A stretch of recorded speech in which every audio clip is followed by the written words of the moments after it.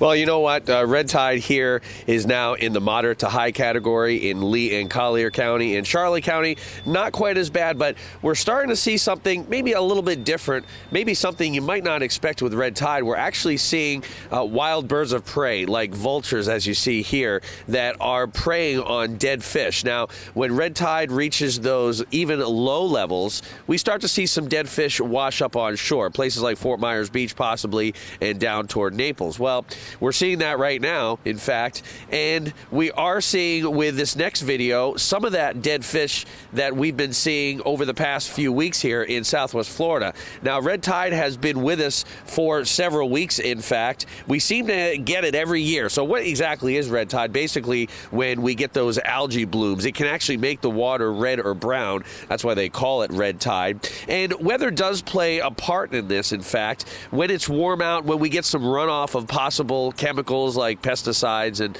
uh, stuff like that into the water, it can cause those algae to bloom even more. So when vacationers come down, that's one thing that they have to watch out for. Here's what someone had to say about this year's red tide.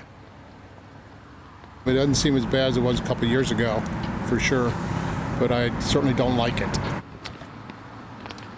Well, again, this year, red tide isn't quite as bad as it has been in previous years, but it, unfortunately, it is forecast to stick with us for at least the next week or so. What we really need is a strong cold front with strong northeasterly winds to push this red tide out to sea and get it out of here. Now, the Roskamp Institute is an institute in Sarasota that has done a couple of studies. In fact, they did a study over the past couple of years on how red tide affects neurological disorders like Alzheimer's. And in fact, they've noticed that people have been going into the emergency room with not just respiratory symptoms with red tide, but neurological disorders and, and symptoms of that nature.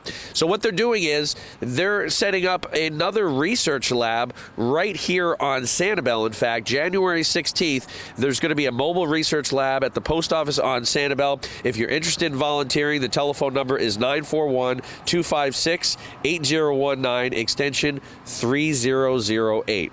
Live at Punta Rassa, I'm Fox 4 meteorologist Eric Stone. All